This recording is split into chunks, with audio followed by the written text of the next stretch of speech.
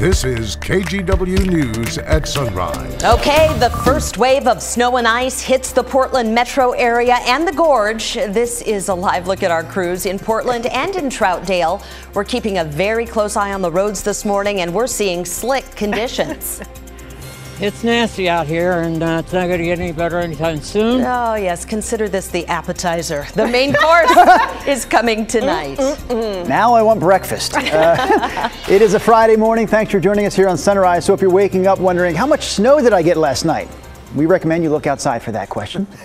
uh, for Rod Hill, we have what's to come. Rod, uh, what can we expect the rest Well, of today into the weekend? Real quick, let me answer the first question. Uh, generally speaking, across the Portland metro area, Washington, Clackamas, Multnomah counties, up through southwest Washington, uh, Clark and Cowlitz counties, one to two inches seems to be very uniformly on the ground. And temperatures are, in fact, upper 20s to about 31 this morning. So it's icy everywhere with some snow on the ground. Less coverage when you get south of Wilsonville down towards Salem. So, yes, the appetizer, we've had that. Here's the main course. This is that stronger front that will come in this evening and give us basically a solid eight hours of steady snow in Portland all the way into early tomorrow morning. I don't know how that would not dump eight inches of snow. That's what I expect. That's tonight into tomorrow morning.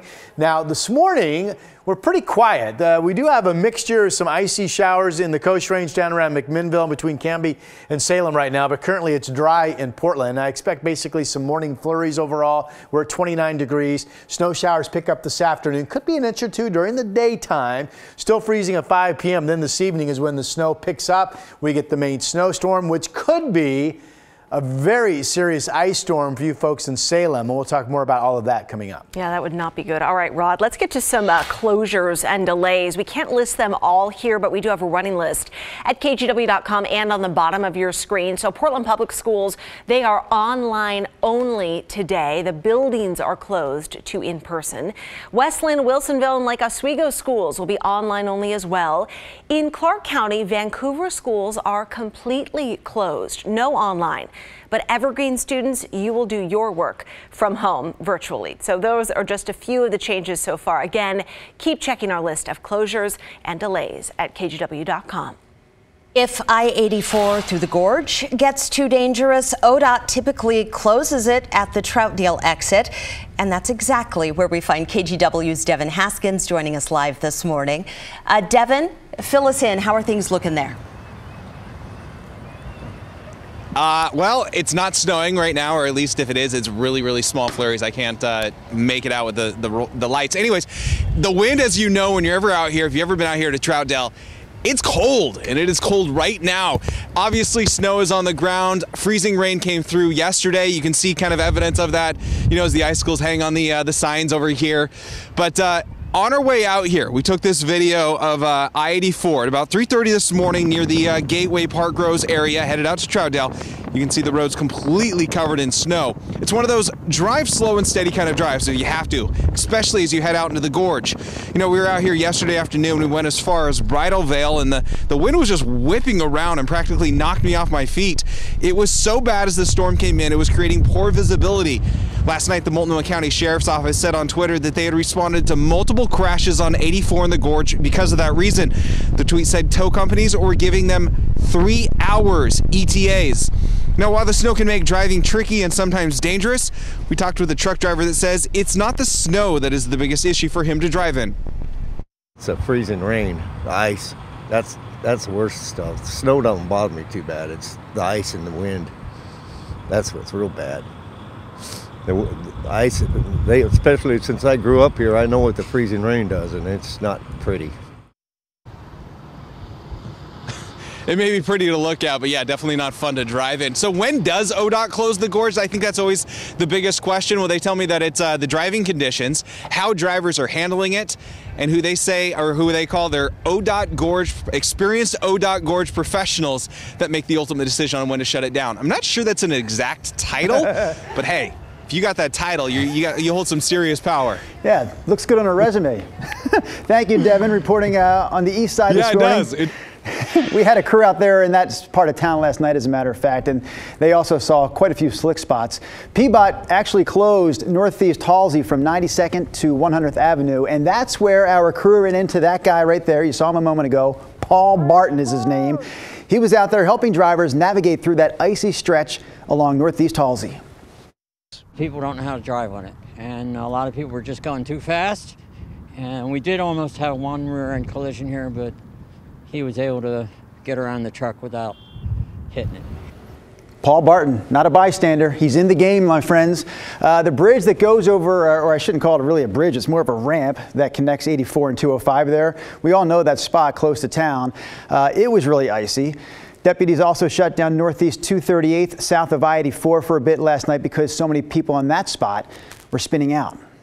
All right, well, ODOT has been keeping a close eye on the roads with more than 200 maintenance workers on 12 hour shifts trying to keep those roads clear. There's a live look at Highway 26 right near the zoo. Cars moving slowly, but getting through just fine, at least right now. Let's get live to our reporter Bryant Clerkley in Drive 8.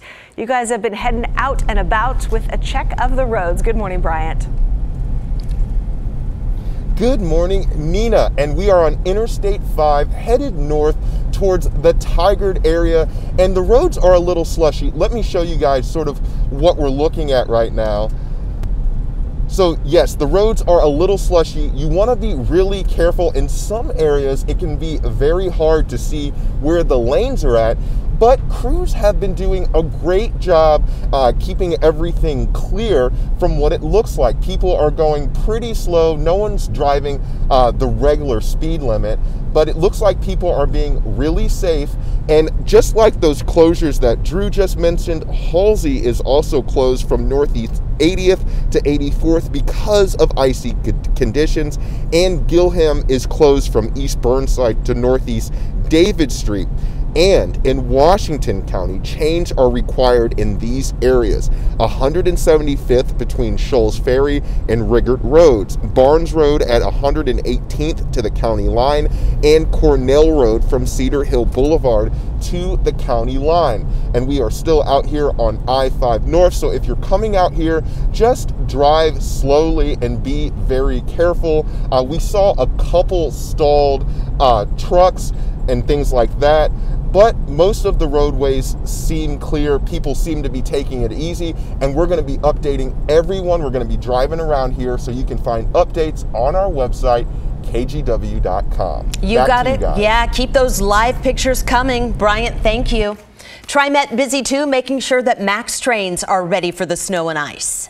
We are prepared to run trains overnight um, if needed, which will help keep the overhead wires clear of ice. Um, Max does very well in the snow. Ice, I think, as it does with all of us, uh, poses greater challenges. So many of the buses have drop down chains, super handy because drivers don't have to pull over, stop and put them on. Everything is automatic. If the snow really does start to pile up, TriMet says it'll put heavy duty chains on all of its buses. But remember, once those buses have the chains on, they are slow. They can't go more than 25 miles an hour. Yeah, plan ahead. Okay, this is my favorite part. We love getting a look at what you guys are seeing. And Ashley sent us this photo from the Bethany area where they got a little bit of snow on the roads last night. And Sean showing us what it looked like yesterday near Division and 154th. So we want to see what it looks like in your neighborhood this morning. Text us those pics 503 226 5088. Yeah, viewers can often uh, drive the snow coverage for us, so definitely send in those pictures. We also know weather will have an impact on the local COVID vaccine rollout today. Starting with the mass vaccination site at the Oregon Convention Center, it will be closed today. So if you had an appointment there, we're told you will be contacted so you can reschedule. Also, the drive-through clinics at the Portland Airport, Hillsboro Stadium, and Multnomah Pavilion on the OHSU campus, they are all canceled for the entire weekend. A lot of people are now asking, what about all those doses that were set to be given out this weekend? Are they going to go to waste? Well, the answer is no. We asked that question and we found out that they have not been thawed yet. That is good news.